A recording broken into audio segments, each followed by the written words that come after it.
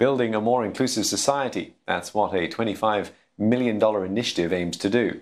It will support innovation projects that help improve the lives of people with disabilities. It also seeks to raise awareness through public education.